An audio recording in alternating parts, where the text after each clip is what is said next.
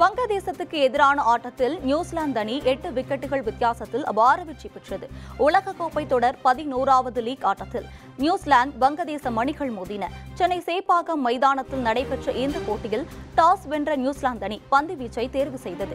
இதையடுத்து முதலில் களமிறங்கிய வங்கதேசம் அணியின் தொடக்க ஆட்டக்காரரான லிட்டன் தாஸ் முதல் பந்திலேயே ஆட்டமிழந்தது ரசிகர்களிடையே அதிர்ச்சியை ஏற்படுத்தியது. இறுதியில் நிர்ணயிக்கப்பட்ட ஐம்பது ஓவர்களின் முடிவில் வங்கதேசம் ஒன்பது விக்கெட்டுகளை இழந்து இருநூற்று நாற்பத்து ஐந்து ரன்கள் எடுத்தது. இதையடுத்து இருநூற்று நாற்பத்து ஆறு ரன்கள் எடுத்தால் வெற்றி என்ற இலக்குடன் நியூசிலாந்து அணி களமிறங்கியது இறுதியில் நியூசிலாந்து அணி நாற்பத்தி இரண்டு புள்ளி ஐந்து ஓவர்களில் இரண்டு விக்கெட்டுகள் இழப்பிற்கு இருநூற்று நாற்பத்தி எட்டு ரன்கள் எடுத்து அபார வெற்றி பெற்றது. அதிரடியாக ஆடிய மிட்செல் மார்ட்ஸ் அறுபத்தி ஏழு பந்துகளில் எண்பத்து ஒன்பது ரன்கள் எடுத்து கடைசி வரை ஆட்டமிழக்காமல் இருந்தார்.